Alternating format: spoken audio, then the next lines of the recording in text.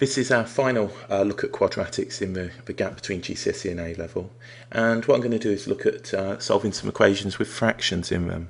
It's, uh, we'll do some basic ones to start with. Now, the way in which you should be going about trying to solve quadratic equations, first thing you say to yourself is, have we got it so easy that it's going to be something like so, x squared minus 49 is equal to 0. If you have, simply add the 49 to both sides and square root. That is your ideal um, example of the easiest possible quadratic. Others will already be factored for you, so you might be given x minus 2, x minus 3 is equal to 0, and you just have to solve, and that's just a case of evaluating. There'll be other examples where you're given, for example, uh, 2x squared minus x is equal to 0, where we don't have a constant term. We simply take an x out and we have 2x minus 1. So our solutions are x are equal to 0 or 2x minus 1 equals 0 and x is equal to half. The other scenario is when we've got a coefficient, for example x squared minus x uh, minus 12 equals 0. Again, in the correct form, ax squared plus bx plus c. And we need to factor this. The coefficient is 1, and we get x plus 3. x minus 4 is equal to 0, with x being plus, uh, plus 4, negative 3. The other scenario is when we get, um, for example, the coefficient on the x squared is not 1, and we get 2x squared minus uh, 3x plus 1 and then we look at that the AC method that we've done for that.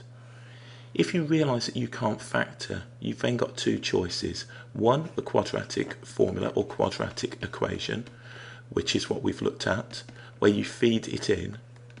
So you just assign an A, a B and a C value and we write minus B plus or minus the square root of B squared minus 4 AC all over 2A, which is an, a formula that you should begin to try and remember rather than refer to it in the, the book all the time. Or we complete the square, which we've looked at before. So we end up having uh, P and then X plus Q all squared plus R and then we solve that, we set that to zero and solve. So here's your hierarchy. If it's that easy, just simply square root both sides. Sometimes it'll be factored for you. Sometimes it'll just have no constant where you factor. Sometimes you'll have um, a, a simple straightforward coefficient of 1. Sometimes you won't. And if you can't seem to factor it, the equation and completing the square will always work. Generally, we give our answers in exact form. So for example, if I now come up to have something factored, such as x plus 2 all squared, this is in completed square form, minus 6 is equal to 0, then I add 6 to both sides, x plus 2 all squared is equal to 6, x plus 2 is equal to plus or minus the root of 6, which is a third, and then x is equal to negative 2 plus or minus root 6. So that is in its exact form, and we would say that is an exact solution, minus 2 plus root 6 and minus 2 minus root 6. Don't decimalize things. You're losing A, the uh, accuracy and to some extent the beauty of those numbers. Okay, we're going to move on to some basic algebraic fractions. What we're going to do is solve these equations. So the first one, we've got x over x plus 4 plus 1 over x is equal to 3 quarters all I'm going to deal with is this uh, left hand side, which is going to ignore the right hand side for now. I'm going to combine these fractions. The lowest common multiple will be the product of the two. Product means the, them being multiplied. I'm missing the x off this side, so I need to multiply all of this side by x, so it becomes x squared. I'm missing the x plus 4 from this side, so it becomes x plus 4. Okay, so 1 times x plus 4 is plus x plus 4 we can now bring back our 3 quarters. If we multiply both sides by the denominator and multiply both sides by the 4, what we'll end up with is 4, the quantity on the uh, left hand side of x squared plus x plus 4. And that's going to equal 3 and then x and then x plus 4. we now need to solve this and look in there's nothing that we can uh, cancel in terms of the numbers don't be tempted to cancel these x's.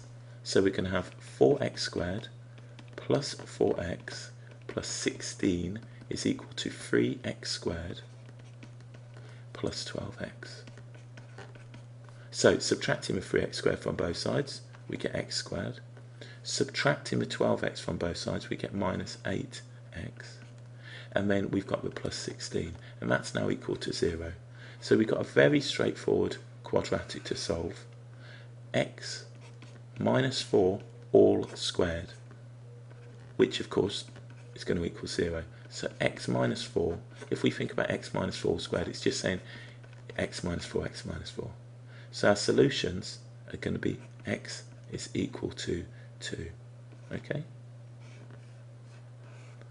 And if we look at this, again, this is what we call a, a, perfect square. And if we looked at a graphical representation of that, then what we'd have is simply a translation of four units to the right. And we'd have the quadratic like so. We'll be looking at graph transformations in the videos. So here's your root here at 4 comma 0 and it's touching, it's what we call a repeated root. And this point here is 0 comma 16. Now when x is naught.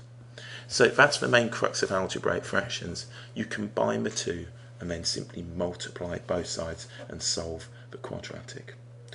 So we've looked at the techniques to solve it. We've looked at a slight bit of extension here, and this is something that you can uh, get going on. If you want to uh, have a go at some of these and drop me a note with your answers, I'll happily go through each one with you. Um, so there we go. That's it. And what we'll do in the next video is move on to combining simultaneous equations where we've got a linear and a non-linear equation.